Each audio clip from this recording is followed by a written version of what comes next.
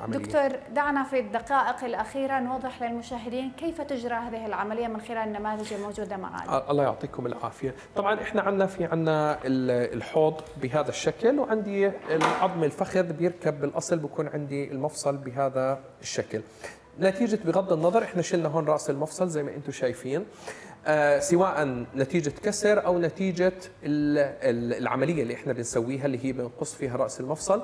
بنحط هذا اللي هو عبارة زي ستم إحنا بنسميه عبارة عن سيخ معدني أو قضيب بيدخل داخل العظم بالداخل. نعم. فأنا هذا الوظيفة تاعته أنه يشيل عندي رأس المفصل. وهون بدنا نحكي عن الفرق بين رأس المفصل إذا انت بتساعدينا هذا رأس المفصل السيراميك بتحطيه بإيدك. لو سمحتي وهذا راس المفصل الحديد.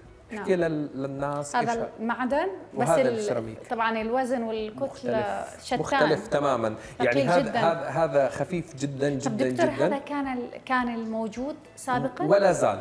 موجود ولا زال. طب لا يعيق المشي مثلا ثقيل ممكن يسوي شوية ثقل ولكن هو ليست المشكلة بالثقل. أكثر من إنها بعمر المفصل. يعني نعم. المفصل السيراميكي اللي زي هاد بيعيش عبارة عن يعني مش سيراميك اللي إحنا بنحكي عنه اللي هو السيراميك عفوا تاع الجدران أو تاع الحيطان هي مادة السيراميك. بينما اللي معك هو المفصل المعدني هذا اللي إحنا بنحكيه طبعا بكون خفيف جدا بنركب رأس المفصل السيراميك على آه، القطعة المعدنية اللي إحنا حطيناها. بعدين بنيجي للمكان اللي بده يركب عليه عشان يصير عليه مدى الحركة.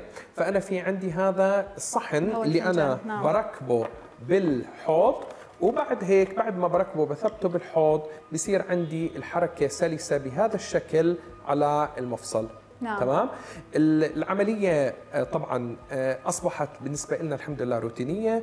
بتتسوى بتاخذ العملية تقريبا بين ساعة لساعه ونص معظم الحالات. الحالات الصعبة ممكن تاخذ لحد ساعتين نسب النجاح دكتور.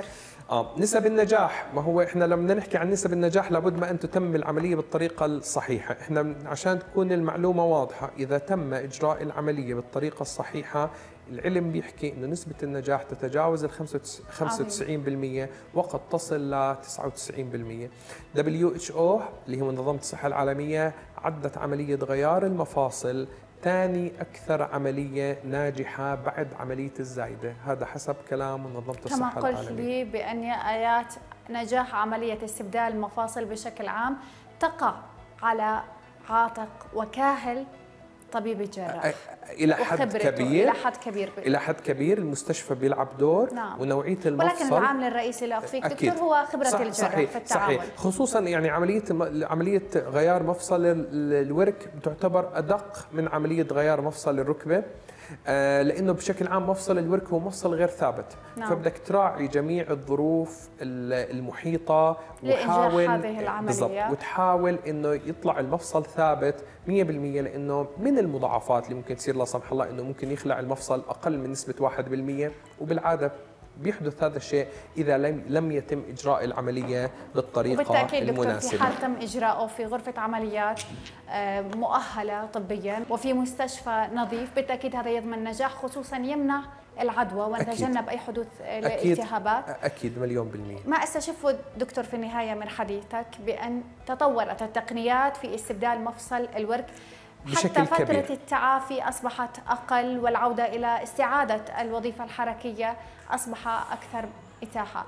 كل شكر لك دكتور محمد أبو هلال استشاري العظام المفاصل. شكرا لحضرتك. الله يعطيك العافية. مع اللقاء نتشرف نتشرف فيك هدية. سلامة قيمتك تسوي وزنك ذهب.